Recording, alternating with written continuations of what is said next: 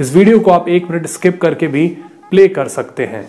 नमस्कार दोस्तों, कैसे हैं आप लोग? हम फिर से वापस आ चुके हैं एक नए वीडियो के साथ। तो गाइज़ अगर आपने अभी तक हमारा चैनल सब्सक्राइब नहीं किया है तो प्लीज़ सब्सक्राइब कर लीजिए और इस हमारी बेल आइकन को भी दबा दीजिए। इस वीडियो को लाइक करिए कमेंट करिए और अपने फ्रेंड के साथ फैमिली के साथ इस वीडियो को शेयर करिए। गाइज़ हम बहुत सारे वीडियोज़ आपके लिए लाते रहते हैं। पूरे न्यूज़ से रिलेटेड जो भी वायरल मटेरियल होता है, जो भी बड़ी बड़ी डिबेट होती है, सबका हम आपके लिए प्रॉपर वीडियो लाते रहते हैं। तो आप हमारे चैनल से बने रहिए। कि अभी कुछ दिन पहले जो इंडियन मेकर्स इतना अतरा रहे थे और मोदी ने भी आके बड़ी बातें की थी कि हमने वैक्सीन बना ली और वैक्सीन जो है वो पत्नी बड़ी एक्साइटिंग प्रोस्पेक्ट्स है और अरबों डॉलर्स वो लगाना शुरू हो गए, उसके ऊपर बिलियंस ऑफ़ डॉलर्स उन्होंने इन्वेस्ट करने शुरू कर दिए। और कहा, ये हम दुनिया भर को एक्सपोर्ट कर रहे हैं। और ट्विटर के ऊपर तो अब आपको पता है उनके जो कण टूटे हैं वो लग गए शुरू के जी पाकिस्तान वाले जो है वो हमारी वैक्सीन ना मांगे और ये ना करें, वो ना करें। करना क्या हुआ खुदा का कि वो जो वैक्सीन उन्होंने साउथ अफ्रीका भेजी थी, साउथ अफ्रीका ने फौरी तौर पर उसके सारे ऑर्डर्स रोक दिए और जो एक मिलियन वैक्सीन डोजेस उन्होंने ली थी, वो साउथ अफ्रीका फौरी तौर पर उनको वापस भिजवा रहे और कह रहे हैं कि ये वैक्सीन हमारी जो कोविड नाइन्टीन है उसे बिल्कुल हमें हेल्प नहीं कर रही। और बल्कि वेव को वहाँ पे अब स्प्रेड हो रही है।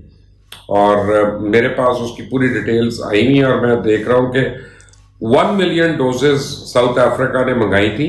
था लाइसेंस था AstraZeneca Oxford vaccine last week ये इंडिया से गई थी, पहले पाँच लाख उसकी डोजेस पहले गई थी और एक मिलियन बाद में। तो वो एक मिलियन पूरी अब उन्होंने वापस भेजनी, क्योंकि उन पाँच लाख का बड़ा एडवर्स इफ़ेक्ट हुआ है उनके पेशेंट्स के ऊपर। और उन्होंने कहा है कि पहले जो उन्होंने वैक्सीन भेजी थी, उनकी एक्सपायरी डेट अप्रैल थी तो उन्होंने कहा कि भाई ये तो बड़ा थोड़ा टाइम है, हमें दूसरी वाली वैक्सीन भेजो। फिर ये शिपमेंट उन्होंने वापस मंगाई, इन्होंने दूसरी वैक्सीन भेजी। तब तक उनके रिज़ल्ट सामने आ गए। और उन्होंने कहा कि ये वैक्सीन अब हम अपने लोगों को नहीं लगा सकते बिकॉज़ इसके ऊपर काफ़ी उनको सीरियस इश्यूज़ हैं। अब इंडियन गवर्नमेंट चाह रही है कि वो जो एक मिलियन डोज है, वो किसी और मुल्क को बेच दी जाए। आप इनकी दो नंबर ही देखें कि बजाय इसके कि होल्ड कर लें उस वैक्सीन को, कि जनाब अगर किसी हुकूमत ने उसको मना किया है, उसको बंद किया है, या उसको रोका है तो उसके रीजंस होंगे हेल्थ रीजंस होंगे। लोगों की जिंदगियों को खतरा है, लेकिन इन्होंने क्योंकि एक्सपायरी डेट उसके ऊपर है तो इनका उसके बाद तो कोई नहीं लेगा तो अभी फिर भी निकाल दो थर्ड वर्ल्ड कंट्री में कहीं ना कहीं निकाल दो। तो इंडियन गवर्नमेंट उस एक्सपायर्ड वैक्सीन को, या एक्सपायर्ड तो नहीं मैं कह सकता, लेकिन उस वैक्सीन को जिसकी एफिकसी जो थी साउथ अफ्रीका में काम नहीं आई, अब उसको दोबारा से रोल आउट करना चाह रहे हैं किसी और मुल्क को, और इसके ऊपर जो है अब इकोनॉमिक टाइम्स वालों ने भी रिपोर्ट दे दी है फोर्ब्स वालों ने भी रिपोर्ट दे दी है। इंडिया की जो हेल्थ मिनिस्ट्री है, वो इसके ऊपर अभी तक कोई उन्होंने कॉमेंट नहीं दिया। वो कहते हैं कि जनाब खामोश हैं बिल्कुल इसके ऊपर। और साउथ अफ्रीका से तो इंडिया को अब ये बहुत बड़ी चुमाट पड़ी है। एस्ट्रा जेनेका ये जो वैक्सीन है रिपोर्टेडली इसके सारे फ्यूचर ऑर्डर्स जो हैं इंडिया में, वो अब कैंसिल हो रहे हैं। और वो बाकी ममालिक भी जो है वो साउथ अफ्रीका का क्यों ले रहे हैं। तो ये बिलियंस ऑफ़ डॉलर्स जो इंडिया इसके ऊपर लगा रहा था कोविड 19 की वैक्सीन पे और उन्होंने ज़रा प्री मेच्योरली उसको रोल आउट कर दिया था। अब उनको उसका सबक मिल रहा है। देखें प्री मेच्योर नहीं करना चाहिए था। इसमें रशिया की जो स्पुटनिक की वैक्सीन है, उसके मतलब सारे ये बता रहे हैं कि उन्होंने टाइम लिया। और उन्होंने, यानी हज़ारों लोगों को जो करना था, उन्होंने टेस्ट भी किया और इसको तीन बैचेस में किया। जब उनके रिजल्ट्स आ गए, फिर उन्होंने दो महीने वेट किया, फिर किसी को रिएक्शन नहीं हुआ।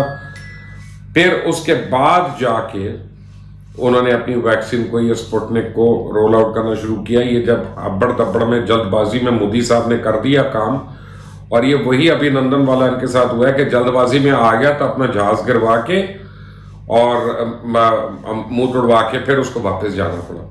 तो आपको मैंने ब्रेकिंग न्यूज़ देनी थी कि इंडिया की जो वैक्सीन है वो साउथ अफ्रीका से रिटर्न हो गई है, और फ्यूचर ऑर्डर्स उसके बंद हो गए हैं। और दीगर ममालिक से भी बंद हो रहे हैं। अब ये कोशिश करें कि इधर उधर छोटे ममालिक में उनको निकालें किसी तरह, क्योंकि उनके कई बिलियन जो हैं, वो उस वैक्सीन की तैयारी में लगे हुए थे। इस चैनल को सब्सक्राइब करें, बेल आइकॉन को प्रेस करें। ऑल द नेक्स्ट टाइम अल्लाह तो गाइज़ इस एंकर पाकिस्तानी एंकर की बकवास होती है यहाँ पर ख़त्म। अब आपको बताते हैं असली स्टोरी और इसकी जो ये फेक न्यूज़ है, इसकी निकालते हैं हवा। तो गाइज़ ये खबर फैलाई गई थी सबसे पहले। भारत के left media N D T V Wire the Quint the Print इन इस तरीके की वेबसाइट पर एक न्यूज़ वायरल हुई।